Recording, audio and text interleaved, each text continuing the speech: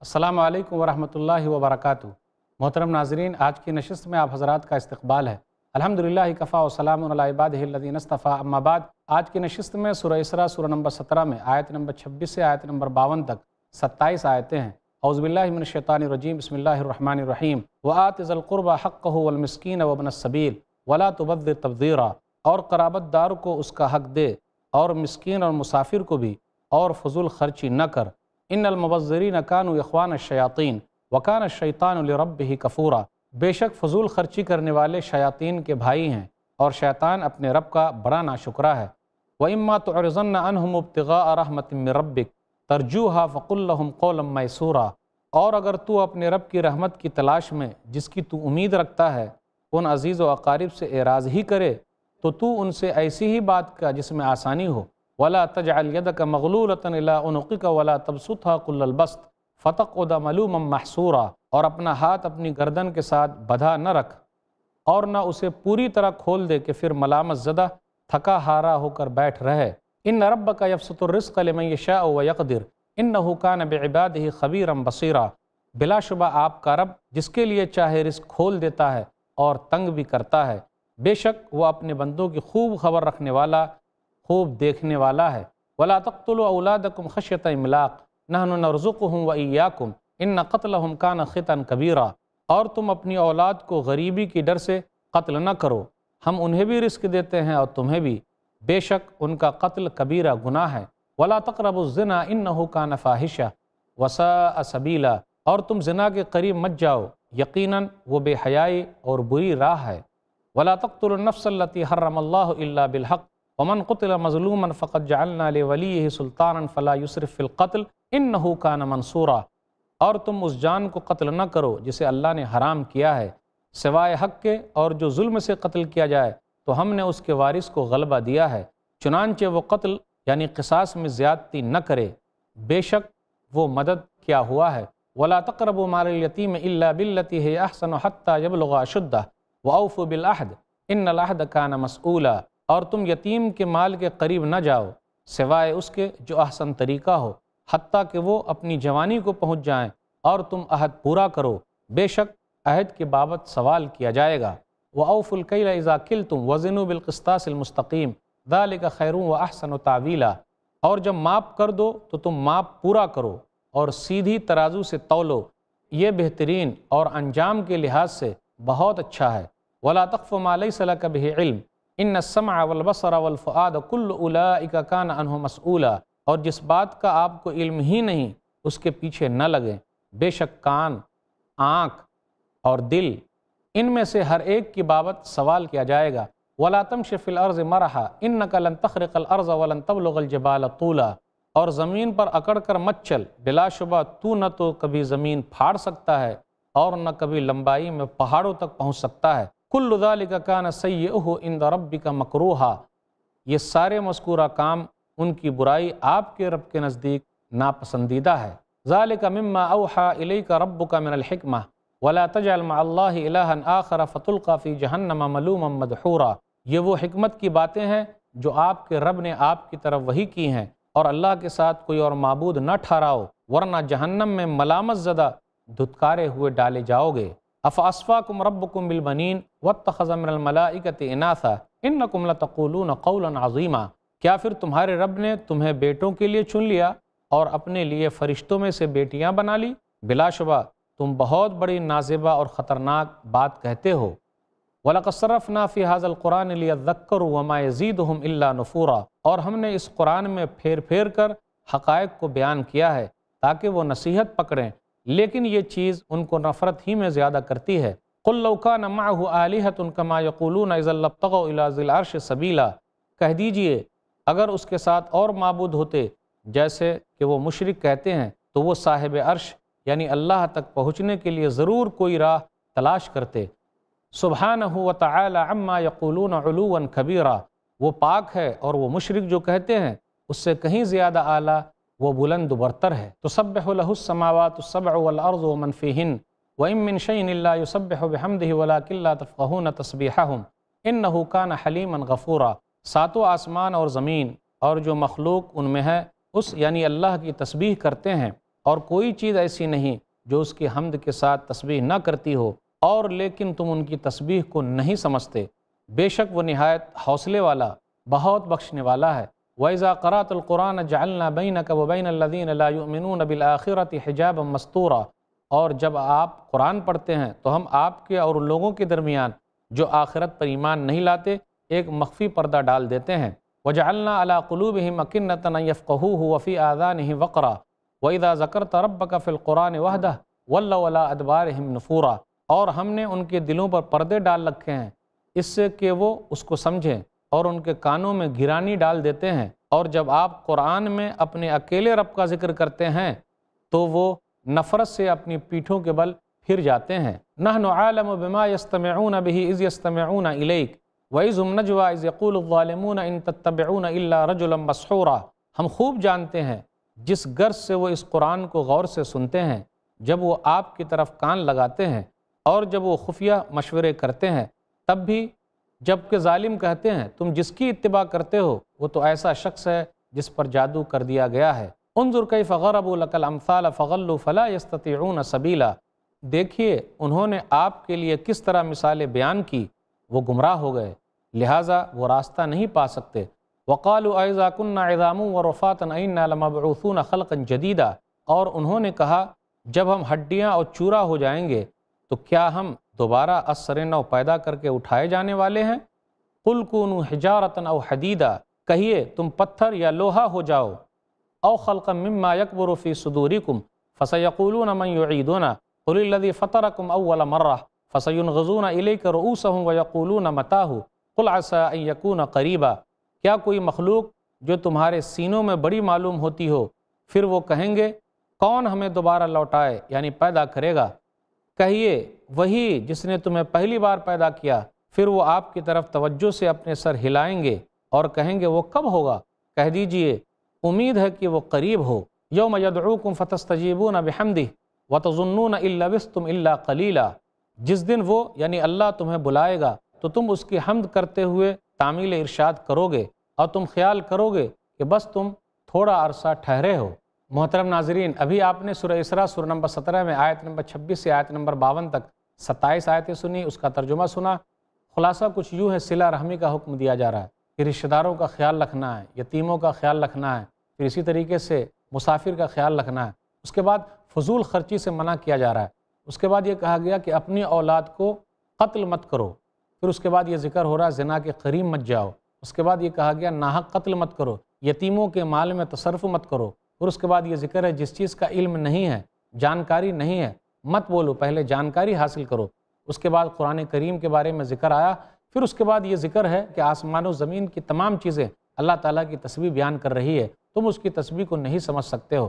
قرآن کریم کے بارے میں ذکر ہے، کس طریقے سے کفار مکہ قرآن سنتے ہیں، لیکن اعراض کرتے ہیں۔ اس کے بعد یہ کہا جا رہا ہے، لوگ یہ کہتے ہیں، کیا مرنے کے بعد دوبارہ اٹھائے جائیں گے؟ کیوں نہیں؟ جس اللہ نے پہلی مرتبہ پیدا کیا وہی اللہ دوبارہ پیدا کرنے پر قادر ہے، اللہ پیدا کرے گا۔ پھر اس کے بعد لوگوں سے یہ کہا جا رہا ہے، کیوں ادھر ادھر جا رہے ہیں؟ قرآن کریم پر غور کیوں نہیں کرتے؟ نصیحت حاصل کیوں نہیں کرتے؟ ان کا ہی فائدہ ہے۔ اب آئیے ذرا تفصیل کے ساتھ ان آیتوں کو لیں۔ چند آیتوں میں اللہ تعالیٰ نے کچھ نیکیوں کا تذکرہ کیا، کچھ حرام چیزوں کا تذکرہ کیا۔ جیسے اللہ تعالیٰ نے آیت نمبر اکیس، بائیس، تیئیس کے اندر جو ذکر فرمایا، اس کے اندر یہ کہا گیا، ایک اللہ کو ماننا۔ پھر اس کے بعد کہا گیا کہ ماں باپ کے ساتھ احسان کرنا۔ اب یہاں حلال و حرام کا بھی تذکرہ ہو رہا ہے۔ جیسے صلہ رحمی کرنا، اس کا فائدہ بیان کیا جا رہا ہے۔ کہ رشتہ داروں کا خیال رکھنا۔ صلہ رحمی کرنے کا فائدہ کیا ہے؟ اگر ہم رشتہ داروں کا خیال رکھتے ہیں، اپنے والوں کا خیال رکھتے ہیں، دوسروں کا خیال رکھتے ہیں، تو اس کا فائدہ کتنا ہے؟ عمر زیادہ ہو جائے گی، عمر لمبی ہو جائے گی اور ہمارے مال میں برکت ہو جائے گی۔ ہمارا مال بڑھ جائے گا، عمر میں اضافہ ہوگا۔ صلہ رحمی کا فائدہ یہ ہے۔ صحیح بخاری کتاب الادب، کتاب نمبر اٹھتر حدیث نمبر پانچ ہزار نو سو چھیاسی۔ نبی صلی اللہ علیہ وسلم نے فرمایا، من احب ان یبسط له فی رزق ہی له فی اثر ہی فلیصل رحمہ جو آدمی یہ چاہتا ہے کہ اس کے رزق کو بڑھا دیا جائے، اس کے رزق میں اضافہ ہو جائے، اس کی عمر لمبی ہو جائے، تو اس کے لیے ضروری ہے کہ وہ صلہ رحمی کرے، اپنے رشتہ داروں کا خیال رکھے۔ اس کے بعد آگے کچھ چیزوں کا حکم دیا جا رہا ہے، کچھ چیزوں سے روکا بھی جا رہا ہے۔ نمبر چار، فضول خرچی کی ممانعت، کہ بھئی فضول خرچی نہیں کرنا، ولا تبذر تبذیرہ فضول خرچی نہ کرو، اعتدال کا راستہ اختیار کرو، میانہ روی اختیار کرو، میانہ روی درمیانی راستے کا مظاہرہ کرو۔ نیک لوگوں کی صفت بیان کرتے ہوئے اللہ تعالیٰ نے کہا، سورہ فرقان، سورہ نمبر پچیس، آیت نمبر سرسٹھ والذین اذا انفقوا لم يسرفوا ولم يقتروا وكان بین ذلك قواما۔ جب وہ یعنی رحمان کے بندے خرچ کرتے ہیں، تو نہ وہ فضول خرچی کرتے ہیں اور نہ بخیلی سے کام لیتے ہیں، بلکہ وہ لوگ بیچ راستے پر چلتے ہیں۔ ان کا راستہ بیچ والا ہوتا ہے۔ فضول خرچی کریں گے تو مال ختم ہو جائے گا، بخیلی کریں گے تو اس کا بھی نقصان ہوگا۔ اس لیے منع کیا جا رہا ہے۔ ناظرین کرام، فضول خرچی کرنے والے شیطانوں کے بھائی ہیں۔ فضول خرچی کیا ہے؟ اللہ کی نافرمانی میں خرچ کیا جائے۔ جہاں اللہ تعالیٰ نے خرچ کرنے کا حکم دیا، وہاں نہ خرچ کیا جائے، بلکہ وہاں خرچ کیا جائے جہاں اللہ تعالیٰ نے منع فرمایا ہے۔ فضول خرچی یہ ہے کہ آدمی اللہ کی نافرمانی میں اپنے مال کو لگا دے۔ جہاں لگانا چاہیے، وہاں نہیں لگا رہا ہے۔ جو اللہ کی اطاعت میں نہیں لگاتا، وہ شیطانوں کے بھائی ہیں۔ وکان شیطان الرب ہی کفورا، اور شیطان اپنے رب کا بڑا ناشکرہ ہے۔ پھر آگے کہا جا رہا پانچویں چیز، مانگنے والوں سے اگر ہم کو رک جانا ہے، ہم نہیں دے پا رہے ہیں، تو نرمی سے بات کرنا۔ بھائی صاحب، ابھی انتظام نہیں ہے، اللہ آپ کے لیے اور انتظام کر دے گا، تو پیارے انداز میں پیچھے ہٹ جائیے۔ اگر مال نہیں ہے، ایسا نہیں کہ جھڑک دیا جائے۔ رکیے، ان چیزوں سے بچ جائیے، یہ بری عادتیں ہیں۔ کچھ لوگ مانگنے والوں کو جھڑک دیتے ہیں، لوگوں کو ڈرنا چاہیے، ایسے غلط کام نہیں کرنا چاہیے۔ بلکہ پیارے انداز میں سمجھانا ابھی انتظام نہیں ہو سکا، نہیں کر سکتے، پھر کبھی ہوگا انشاءاللہ تو دیکھیں گے، معاف کیجیے گا۔ پھر آگے کہا جا رہا، خرچ میں میانہ روی اختیار کرنا بہت ضروری ہے۔ یہ آیت نمبر انتیس سے تیس کے درمیان غور کیجیے، یہ چھٹی چیز ہے۔ ولا تجل یدک مغلولۃ اللہ عنقک ولا تبسطها كل البسط فتقعد ملوما محصورا۔ کہ تم اپنے ہاتھ کو ایسا نہیں کرو کہ باندھے رکھو یعنی بخیلی اختیار مت کرو۔ اور فضول خرچی بھی کرنے والے مت ہو جاؤ۔ یعنی اس طریقے سے کہ تم بخیلی بھی مت کرو اور بہت زیادہ خرچ بھی مت کرو۔ بیچ کا راستہ اختیار کرو۔ اگر بخیلی کرو گے تو نقصان ہوگا اور اگر پورا خرچ کر دو گے تو تم افسوس کرو گے، تمہارے پاس مال ہی نہیں رہے گا۔ نہ تمہارے لیے ہوگا، نہ تمہاری اولاد کے لیے ہوگا۔ تم دوسروں کے محتاج ہو جاؤ گے، اس لیے بیچ کا راستہ اختیار کرو۔ تو خرچ کرنے میں بھی بیچ کا راستہ اختیار کرنا ہے تاکہ برے دن نہ دیکھنے پڑے اور اتنا بھی جمع کر کے نہیں رکھنا ہے کہ نقصان ہو جائے۔ اس لیے لوگوں کو کہا جا رہا ہے، بیچ کا راستہ اختیار کریں۔ یہودیوں نے اللہ تعالیٰ پر الزام لگایا، یہ ملون ہے، اللہ کی لانت ہو ان پر۔ ید اللہ مغلولہ، سورہ معاہدہ سورہ نمبر پانچ، آیت نمبر چونسٹھ، کہ اللہ تعالیٰ کا ہاتھ بدھا ہوا ہے۔ جی نہیں، اللہ تعالیٰ کا ہاتھ کھلا ہوا ہے۔ اللہ تعالیٰ خرچ کر رہا ہے۔ آسمان و زمین کو جب سے اللہ نے پیدا کیا، اللہ اپنے مال کو خرچ کر رہا ہے اور اللہ کے مال میں کسی طریقے کی کوئی کمی نہیں ہوتی۔ صدقہ کرنے سے مال بڑھتا ہے۔ ہم اور آپ اگر صدقہ و خیرات کریں گے تو ہمارا مال بڑھتا جائے گا۔ اس لیے گھبرائیے نہیں۔ اللہ کا مال اللہ کے راستے میں دیجیے، اس کا بڑا فائدہ ہے۔ صحیح مسلم کتاب البر وسیلہ کتاب نمبر پینتالیس، حدیث نمبر دو ہزار پانچ سو اٹھاسی۔ ماں نقصد صدقۃ من مال۔ صدقہ کرنے سے مال کم نہیں ہوتا۔ اللہ تعالیٰ اس مال میں اضافہ کر دیتا ہے۔ وما زاد اللہ عبدن وعفن اللہ عزن اور اللہ تعالیٰ اس بندے کے عزت میں اضافہ کرتا ہے جو معاف کر دیتا ہے۔ تو معافی کا بڑا فائدہ ہے۔ اللہ تعالیٰ آپ کی عزت کو بڑھا دے گا۔ جو بھی معاف کرے گا، اللہ تعالیٰ اس کی عزت کو بڑھاتا ہے۔ وما تواز احد اللہ اللہ رفع اللہ جو اللہ کے لیے جھکے گا، تو اللہ تعالیٰ اس کو اٹھا لے گا۔ پھر آگے یہ ذکر ہے، جو لوگ صدقہ و خیرات کرتے ہیں، تو اللہ تعالیٰ ان کے اوپر خرچ کرتا ہے۔ صحیح بخاری کتاب و تفسیر، کتاب نمبر پینسٹھ، حدیث نمبر چار ہزار چھ سو چوراسی۔ نبی صلی اللہ علیہ وسلم نے فرمایا، یہ حدیث قدسی ہے۔ اللہ تعالیٰ فرماتے ہیں، یبن آدم انفق انفق علیک اے آدم کے اولاد تو خرچ کر؟ میں تیرے اوپر خرچ کروں گا۔ اس لیے صدقہ و خیرات کیجیے اس کا بڑا فائدہ اللہ تعالیٰ خرچ کرتا ہے۔ اگر ہم اور آپ کسی بندے کی مدد میں لگے رہیں گے، تو اللہ تعالیٰ ہماری مدد میں لگا رہے گا۔ ایک حدیث پر غور کریں۔ صحیح مسلم کتاب و ذکر کتاب نمبر انتالیس، حدیث نمبر دو ہزار چھ سو ننانوے۔ واللہ فی عون العبد ما کان العبد فی عون اخی۔ بندہ جب تک بندے کی مدد میں لگا رہتا ہے، اس وقت تک اللہ اس بندے کی مدد میں لگا رہتا ہے۔ اس لیے ہم اور آپ ایک دوسرے کا تعاون کریں، اللہ تعالیٰ ہماری مدد کرے گا۔ اللہ ہم سب کو اس کی توفیق دے، آمین۔ پھر بیچ میں ایک آیت اور آ گئی، ان رب کا یفسط و رزق لمن یشاء و یقتر آپ کا رب جس کے لیے چاہتا ہے روزی کو تنگ کر دیتا ہے اور جس کے لیے چاہتا ہے روزی کو کشادہ کر دیتا ہے، اس پر اگر غور کریں تو تقدیر کا یہ مسئلہ ہے۔ ہمیں اور آپ کو سکون ملے گا۔ بھائی، اللہ نے جس کو چاہا مالدار بنایا، اللہ نے جس کو چاہا غریب بنایا، تو اللہ آزمانے کے لیے ایسا کرتا ہے۔ ایسا نہیں کہ اللہ کسی سے خوش ہے تو مال دیتا ہے اور اللہ کسی سے ناراض ہے تو مال نہیں دیتا۔ جی نہیں۔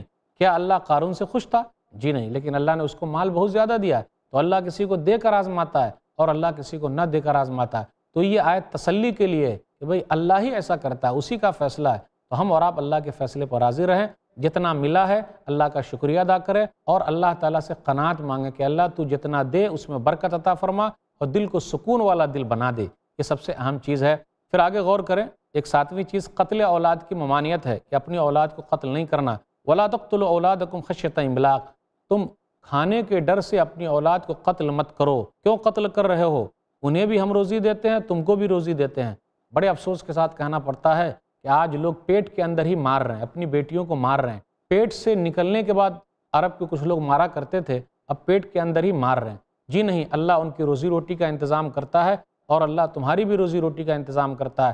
اللہ ہر ایک کی روزی روٹی کا انتظام کرتا ہے، بندہ کسی کے لیے کچھ نہیں کر سکتا۔ میں آپ سے پوچھتا ہوں اگر ہمیں چونٹی کو کھانا دینے کے لیے کہا جائے تو کیا ہم چونٹیوں کو کھلا سکتے ہیں؟ جی نہیں۔ اللہ چونٹیوں کو کھلا رہا، پھر اسی طرح ہاتھی کو کھلا رہا، شیر کو کھلا رہا، جانوروں کو کھلا رہا، چرند کو کھلا رہا، پرند کو کھلا رہا، انسان کو کھلا رہا، جنات کو کھلا رہا، سب کی روزی روٹی کا انتظام اللہ کرتا ہے۔ تو گھبرانے کی بات نہیں، روزی روٹی کا مالک اللہ ہے، وہ رزاق ہے، ہر ایک کے لیے اللہ تعالیٰ انتظام کرتا ہے۔ اس کے بعد آیت نمبر بتیس کے اندر ایک اہم چیز، آٹھویں چیز، زنا اور اس کے اسباب سے روکا جا رہا ہے۔ زنا یہ بری چیز ہے، اسے منع کیا جا رہا ہے۔ بڑے افسوس کے ساتھ کہنا پڑتا ہے، اب یہ برائی عام ہوتی جا رہی ہے۔ کہا جاتا ہے کہ بھائی نکاح کرو تو زنا پر کنٹرول ہو جائے۔ آج زنا آسان اور نکاح مشکل۔ اس لیے زنا جیسی چیزوں سے دور رہیے، بری چیز ہے یہ۔ بلتکار جیسی چیزوں سے دور رہیے، بری چیز ہے یہ۔ یہ برا راستہ ہے۔ انسان کا دنیا میں بھی گھاٹا ہے، آخرت میں بھی اس کا گھاٹا ہونے والا ہے۔ نبی صلی اللہ علیہ وسلم پیارے انداز سے صحابہ کرام کو سمجھایا کرتے تھے، ایک حدیث پر غور کریں۔ مسند احمد جل نمبر پانچ، صفحہ نمبر دو سو چھپن، دو سو ستاون پر ایک حدیث آئی ہے۔ حدیث نمبر بائیس ہزار دو سو گیارہ، صحیح حدیث ہے یہ۔ ابو امامہ رضی اللہ تعالیٰ عنہ کہتے ہیں، ان نفتن شاب بنتن نبی صلی اللہ علیہ وسلم، ایک نوجوان نبی صلی اللہ علیہ وسلم کے پاس آیا اور کہا ایزل لی بزنا اللہ کے رسول صلی اللہ علیہ وسلم مجھے زنا کرنے کی اجازت دے دیجیے۔ تو قوم نے کہا، ماہ ماہ، توبہ توبہ، کیا بات کر رہا ہے؟ بہت غلط بول رہا ہے یہ۔ تو نبی صلی اللہ علیہ وسلم نے فرمایا، ادنوہ تو قریب آ جا۔ وہ نوجوان قریب آیا اور بیٹھا۔ نبی صلی اللہ علیہ وسلم نے فرمایا اتحبہ لامک کیا تو چاہتا کہ تیری ماں کے ساتھ کوئی زنا کرے، غلط کام کرے، بلتکار کرے؟ لا واللہ جعلن اللہ فداک میری جان آپ پر قربان ہو جائے، ایسا کوئی کرے گا؟ مجھے یہ پسند نہیں۔ تو نبی صلی اللہ علیہ وسلم نے فرمایا، ولن وَلَنَّاسُ يُحِبُّونَهُ لِأُمَّهَاتِهِمْ لوگ بھی نہیں چاہتے کہ ان کی ماؤں کے ساتھ کوئی غلط کام کرے۔ اس کے بعد نبی صلی اللہ علیہ وسلم نے فرمایا افتحبہ لابنتک، کیا تو چاہتا کہ تیری بیٹی کے ساتھ کوئی غلط کام کرے؟ لا واللہ، یا رسول اللہ جعل اللہ فداک. نہیں اللہ کے رسول، میری جان آپ پر قربان ہو جائے. میری بیٹی کے ساتھ کوئی غلط کام کرے، مجھے یہ پسند نہیں ہے. تو نبی صلی اللہ علیہ وسلم فرمایا، ولناس یحبونہ لبناتہم لوگ بھی نہیں چاہتے کہ ان کی بیٹیوں کے ساتھ کوئی غلط کام کرے. اس کے بعد کہا افتحبہ لاختک کیا تو چاہتا کہ تیری بہن کے ساتھ کوئی غلط کام کرے؟ تو اس نے کہا، لا واللہ جعل اللہ فداک. نہیں، میری جان آپ پر قربان ہو جائے، اللہ کے رسول، میں یہ نہیں چاہتا. تو نبی صلی اللہ علیہ وسلم فرمایا، وَلَنَّاسُ يُحِبُّونَهُ لِأَخَوَاتِهِمْ. لوگ بھی نہیں چاہتے کہ ان کی بہنوں کے ساتھ کوئی غلط کام کرے۔ پھر نبی صلی اللہ علیہ وسلم فرمایا، أَفَتُحِبُّهُ لِعَمَّتِكْ؟ کیا تو چاہتا ہے کہ تیری پھوپی کے ساتھ کوئی غلط کام کرے؟ تو اس نے کہا، لا واللہ جعلن اللہ فداک. نہیں، میری جان آپ پر قربان ہو جائے اللہ کے رسول، میں یہ نہیں چاہتا۔ تو نبی صلی اللہ علیہ وسلم فرمایا وَلَنَّاسُ يُحِبُّونَهُ لِعَمَّاتِهِمْ. لوگ بھی نہیں چاہتے کہ ان کی پھوپیوں کے ساتھ کوئی غلط کام کرے۔ پھر اس کے بعد نبی صلی اللہ علیہ وسلم فرمایا افتحب خالتک کیا تو چاہتا کہ تیری خالہ کے ساتھ کوئی غلط کام کرے؟ تو اس آدمی نے کہا، لا واللہ جعلن اللہ فداک. نہیں، میری جان آپ پر قربان ہو جائے میری خالہ کے ساتھ کوئی ایسا غلط کام کرے؟ میں نہیں چاہتا۔ تو نبی صلی اللہ علیہ وسلم فرمایا وَلَنَّاسُ يُحِبُّونَهُ لِخَالَاتِهِمْ۔ لوگ بھی نہیں چاہتے کہ ان کی خالاؤں کے ساتھ کوئی غلط کام کرے۔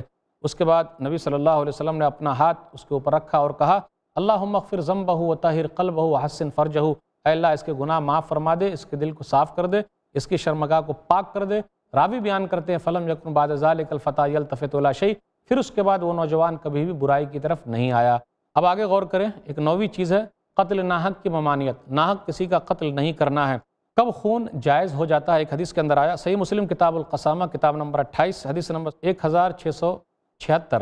نبی صلی اللہ علیہ وسلم نے فرمایا، عبداللہ بن مسعود رضی اللہ تعالیٰ عنہ کہتے ہیں کہ رسول اللہ صلی اللہ علیہ وسلم نے شاد فرمایا اللہ یحل دم و رجل المسلمین، یشہد اللہ الہ الا اللہ و انی رسول اللہ الا بعہدی ثلاث السیب الزانی والنفس بالنفس والتارک لدین المفارق الجماع نبی صلی اللہ علیہ وسلم نے فرمایا کسی مسلم آدمی کا خون جو گواہی دیتا ہو، معبود بھرک اللہ ہے اور میں اللہ کا رسول ہوں، حلال نہیں ہے، مگر تین چیز میں حلال ہو جاتا ہے۔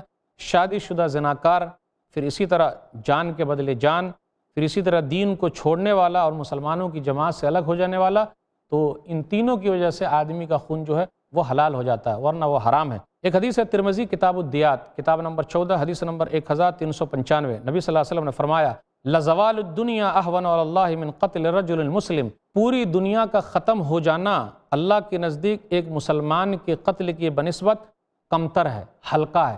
پوری دنیا ختم ہو جائے، یہ چلے گا، لیکن ایک مسلمان کا ناحق قتل نہیں ہونا چاہیے۔ تو ناحق قتل کی کتنی بڑی اہمیت ہے؟ اس لیے ایک آیت کے اندر ہے، سورہ معاہدہ سورہ نمبر پانچ، آیت نمبر بتیس۔ من قتل نفس بغیر نفس و فساد فی الارض فکانما قتل الناس جمیعہ ومن حیاہ فکانما احیا الناس جمیعہ جس نے ایک کو مارا، سب کو مار دیا۔ جس نے ایک کی جان بچائی، سب کی جان بچا لی۔ تو جان کی بڑی اہمیت ہے۔ پھر آگے دسویں چیز ہے، یتیم کے مال کے قریب بھی مت جاؤ۔ یعنی اس کا مال مت کھاؤ۔ جب وہ بالغ ہو جائیں عقل مند ہو جائیں، تب ان کا مال ان کو سونپ دو۔ پھر اس کے بعد کہا جا رہا ہے وعف و بلاحد وعدے کو پورا کرو۔ اللہ کے ساتھ جو حد و پیمان کیا، اس کو پورا کرو۔ بندوں کے ساتھ جو حد و پیمان ہے، اس کو پورا کرو۔ کیونکہ ہر چیز کے بارے میں پوچھا جانے والا ہے۔ آگے بارہویں چیز ہے، ناپ تول مکمل کرو۔ ناپ تول میں کمی مت کرو۔ وہ فلقِ ذاکل تم وزن بالقسطاس المستقیم صحیح ترازو سے تولو جو لوگ ناپ تول میں کمی کرتے ہیں، وہ غلط کام کر رہے ہیں۔ اللہ تعالیٰ منع فرماتا ہے۔ اللہ تعالیٰ حکم دیتا ہے، پورا پورا تولو ناپ تول میں کمی مت کرو۔ اس کے بعد تیرہویں چیز ہے، علم کے بغیر بات نہیں کرنا۔ آج کل لوگ بغیر علم کے بات کر رہے ہیں، بغیر جانکاری کے بات کر رہے ہیں۔ بھائی، آنکھ، دل، کان، یہ سب چیزیں اللہ تعالیٰ نے کیوں دی ہے؟ آدمی دیکھے، صحیح چیز سنے، دل میں صحیح چیز کو لائے، ان تمام چیزوں سے پوچھا جانے والا ہے۔ اس لیے آنکھ سے بھی سوال ہوگا، کان سے بھی سوال ہوگا، دل سے بھی سوال ہوگا، تو جب تک جانکاری صحیح نہ ہو، مت بولو، علم حاصل کرو، جانکاری حاصل کرو، اس چیز پر ابھارا جا رہا ہے۔ پھر اس کے بعد کہا گیا، چودہویں چیز، اکڑ کا چلنا نہیں ہے، کیونکہ زمین کو پھاڑ نہیں سکتے، پہاڑ کے اوپر پہنچ نہیں سکتے، کچھ بھی ہو جائے، کوئی آدمی زمین کو پھاڑنا چاہے، پھاڑ نہیں سکتا، پہاڑوں کے اندر گھسنا چاہے، کیسے گھسے گا؟ اتنا لمبا ہو بھی نہیں سکتا، کیسے لمبا ہو جائے گا؟ اس لیے منع کیا جا رہا ہے۔